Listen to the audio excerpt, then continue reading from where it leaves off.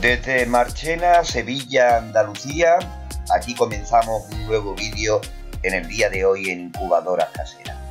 Estas imágenes corresponden a parte del recinto amurallado que se está restaurando en una primera etapa y que está situado en la carretera conocida aquí en nuestra localidad como Carretera de los Folletos. Con estas imágenes nos vamos a quedar ahora con sus mascotas, con grabación de especies variadas que había allí en exposición y de las que pudimos disfrutar en todos los stands que había en sus mascotas en esta pasada edición.